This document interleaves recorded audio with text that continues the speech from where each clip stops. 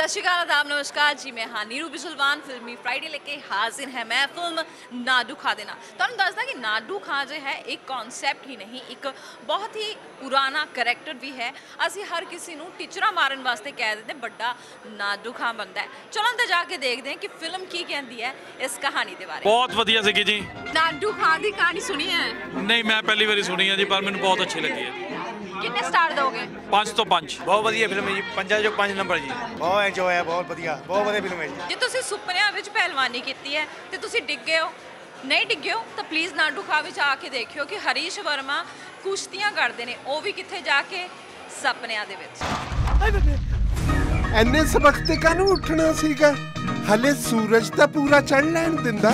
ਬਾਪੂ ਸੂਰਜ ਨੂੰ ਛੱਡ ਤੇਰਾ ਪੁੱਤ ਤਾਂ ਹੁਣ ਸਿੱਧਾ ਚੰਨ ਚਾੜੂ। ਬਹੁਤ ਵਧੀਆ ਜੀ ਬਹੁਤ ਵਧੀਆ ਸੀ ਜੀ ਬੰਨੀ ਜੀ ਦਾ ਰੋਲ ਬਹੁਤ ਵਧੀਆ ਸੀਗਾ। ਓਵਰਆਲ ਲਾਸਟ ਥੋੜਾ ਜਿਹਾ ਖਿੱਚਿਆ ਲੱਗ ਰਿਹਾ ਸੀ ਅਦਰਵਾਈਜ਼ ਓਵਰਆਲ ਠੀਕ ਹੈ ਜੀ ah, three and a half film ਬਹੁਤ ਵਧੀਆ ਲੱਗੀ ਹੈ ਜੀ ਪੁਰਾਣੇ ਕਲਚਰ ਨੂੰ ਦਿਖਾਇਆ ਗਿਆ ਬਹੁਤ ਵਧੀਆ ਹੈ ਸਟੋਰੀ ਲਾਈਨ ਬਹੁਤ ਵਧੀਆ। ਹੈ ਮੈਂ ਚਾਹੁੰਦਾ ਸਾਰੇ ਆ ਕੇ ਇੱਕ ਵਾਰ ਮੂਵੀ ਦੇਖਣ।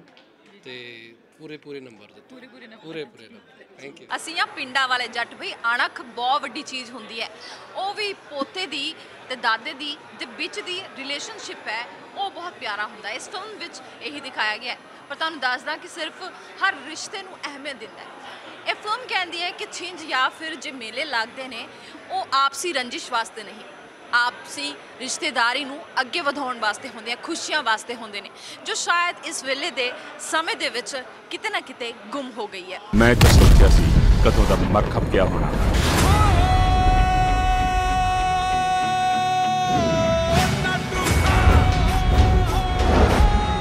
ਮੈਂ ਨਾਟੂ ਖਾਂ ਦੇ ਸਾਰੇ ਟੱਬਰ ਦੀਆਂ ਅੱਖਾਂ 'ਚ ਅਥਰੂ ਵੇਖਣੇ ਚਾਹੁੰਦਾ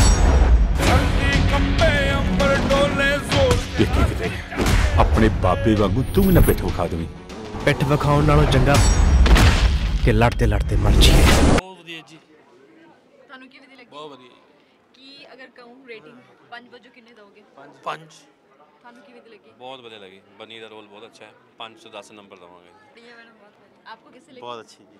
ਕਿਵੇਂ ਦੀ ਹੈ? ਵਧੀਆ ਜੀ। ਵਧੀਆ ਸੀ ਬਹੁਤ ਅੱਛੀ ਮੂਵੀ ਬਹੁਤ ਬੜੀ ਮੂਵੀ ਸੀ।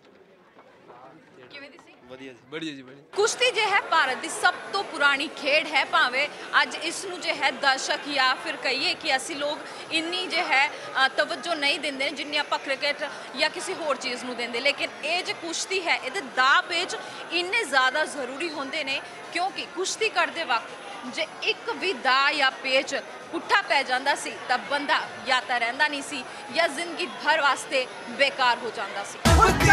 ਫੱਟੂ ਤੇ ਕੁਸ਼ਤੀ ਹੋਊਗੀ। ਇਹਨਾਂ ਥੀਤ ਨਹੀਂ ਹੈ। ਉਹ ਕੀ ਹੋਇਆ ਇਹਨੂੰ ਓਏ? ਇਹਦਾ ਨਾ ਦੁੱਤ ਤੁੱਤ ਦਿਆ ਦੁੱਧ ਸੁੱਕ ਗਿਆ।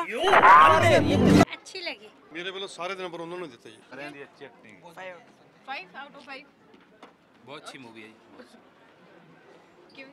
ਵਧੀਆ ਮੂਵੀ ਬੈਸਟ ਕਿੰਨੇ ਨੰਬਰ ਦੋਗੇ ਫੁੱਲ ਫੁੱਲ 100 ਦਾ 100 ਤੁਸੀਂ ਕੀ ਕਹਿੰਦੇ ਹੋ? ਬਹੁਤ ਅੱਛੀ ਹੈ ਜੀ ਮੂਵੀ ਹਾਂਜੀ। ਕਿੰਨੇ ਨੰਬਰ ਦੋਗੇ?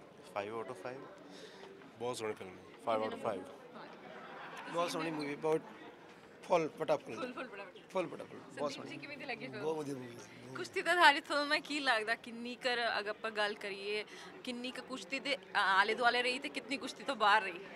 ਨਹੀਂ ਬਹੁਤ ਵਧੀਆ ਮੂਵੀ ਬਣੀ ਹੈ। ਕੁਸ਼ਤੀ ਜਿੰਨੀ ਕੁ ਮੂਵੀ ਵੇਖੀ ਹੈ ਵਧੀਆ ਬਣੀ। ਸੈਕਿੰਡ ਹਾਫ ਤੱਕ ਚਮਕੀ ਨਹੀਂ। ਤੇ ਪਹਿਲੇ ਹਾਫ ਚ ਹਾਸਾ ਜ਼ਿਆਦਾ ਦੂਜੇ ਹਾਫ ਥੋੜਾ ਜਿਹਾ ਇਮੋਸ਼ਨਲ ਵੀ ਹੈਗਾ ਬਹੁਤ ਸੋਹਣੀ ਮੂਵੀ ਹੈ ਕੁੱਲ ਮਿਲਾ ਕੇ। ਕੁੱਲ ਮਿਲਾ ਕੇ ਕਿੰਨੇ ਨੰਬਰ ਦੋਗੇ ਪੰਜ ਵਜੋਂ ਮੈਂ ਤਾਂ ਪੰਜ ਹੀ ਦਾਂਗਾ ਜੀ ਠੀਕ ਹੈ thank you Very nice, very nice. ਕਿੰਨੇ ਨੰਬਰ ਦੋਗੇ I think 8 out of 10. ਤੁਸੀਂ Uh, 4 out of 5. ਤੁਸੀਂ ਕੀ ਕਹਿੰਦੇ 10 ਆਊਟ ਆਫ 10 ਬਹੁਤ ਵਧੀਆ ਮੂਵੀ ਹੈ ਜੀ ਬਹੁਤ ਅੱਛਾ ਮੈਸੇਜ ਮਿਲਿਆ ਇਸ ਮੂਵੀ ਤੋਂ ਬਹੁਤ ਵਧੀਆ ਮੂਵੀ ਹੈ ਜੀ ਬਹੁਤ ਬਹੁਤ ਸੁਪਰ ਹਿੱਟ ਹੋਏਗੀ ਜੀ ਮੂਵੀ ਬਹੁਤ ਸੋਹਣੀ ਮੂਵੀ ਹੈ ਜੀ 5 ਆਊਟ ਟੂ 5 ਬਹੁਤ ਸੋਹਣੀ ਮੂਵੀ ਹੈ ਜਰੂਰ ਦੇਖਣੀ ਚਾਹੀਦੀ ਹੈ ਫੈਮਿਲੀ ਦੇ ਨਾਲ ਹੁਣ ਤਾਂ ਤੂੰ ਦਾਤੇ ਫਿਰ ਪਹਿਲਵਾਨੀ ਤਰੇਂਦਾ ਕਿਹੜੀ ਭਲਵਾਨੀ?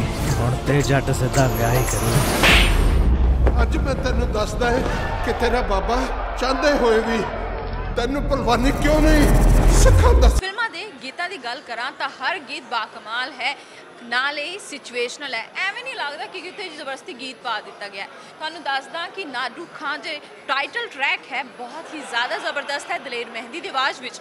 ਉਸ ਤੋਂ ਬਾਅਦ ਗੱਲ ਕਰਦੇ ਨੇ ਕਿ ਅਸੀਂ, ਯਾਨੀ ਕਿ ਡੇਲੀ ਪੋਸਟ ਕਿੰਨੇ ਨੰਬਰ ਦਿੰਦਾ ਮੈਂ ਕਹਿੰਦੀ ਹੈ ਕਿ ਮੈਂ ਇਸ ਫਿਲਮ ਨੂੰ ਦਊਂਗੀ 5 ਵਜੋਂ 3.5 ਹੁਣ ਤੁਸੀਂ ਜਾ ਕੇ ਫਿਲਮ ਦੇਖੋ ਵੀਕਐਂਡ ਤੇ ਕੀ ਕਰ ਰਹੇ ਹੋ? ਤੁਸੀਂ ਜਾ ਕੇ ਫਿਲਮ ਨਹੀਂ ਦੇਖੋਗੇ ਤਾਂ ਪੰਜਾਬੀ ਫਿਲਮ ਇੰਡਸਟਰੀ ਗਰੋ ਕਿਵੇਂ ਕਰੇਗੀ? ਜੋ ਉੱਥੇ ਕੰਮ ਕਰ ਰਹੇ ਨੇ, ਉਹਨਾਂ ਨੂੰ ਰੋਜ਼ਗਾਰ ਕਿਵੇਂ ਮਿਲੇਗਾ? ਕੈਮਰਾਮੈਨ ਅਮਰਜੋਤ ਦੇ ਨਾਲ Neeru Bishrwan daily post Punjab